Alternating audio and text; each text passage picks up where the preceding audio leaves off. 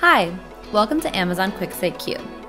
Q is a machine learning powered natural language query capability that provides visual responses in just a few seconds. Unlike search based BI offerings, which require you to understand a certain syntax, Q simply allows you to start asking questions in plain English. Think to the last time you wanted to share a data point with your team or include it in an executive presentation.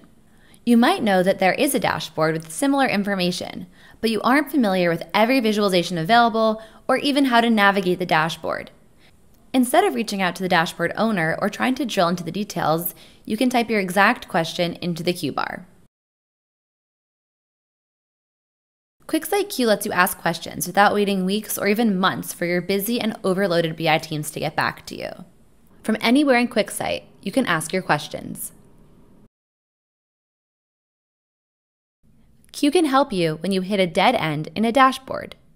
For example, this bar chart shows a monthly breakdown, but you want to see the weekly trend. I can easily change this table into a line chart or bar chart and even export my results. I also want to know week over week for ad spend and a cost comparison of two brands. I can easily use Q to quickly change my question.